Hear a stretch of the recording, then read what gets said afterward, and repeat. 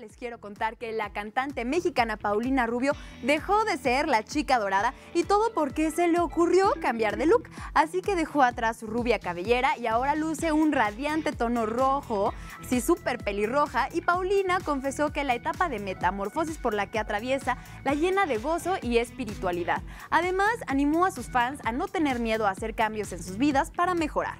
La intérprete actualmente forma parte del jurado del popular concurso de televisión The X Factor de la cadena Fox, al lado de Demi Lovato, Kelly Rowland y Simon Cowell.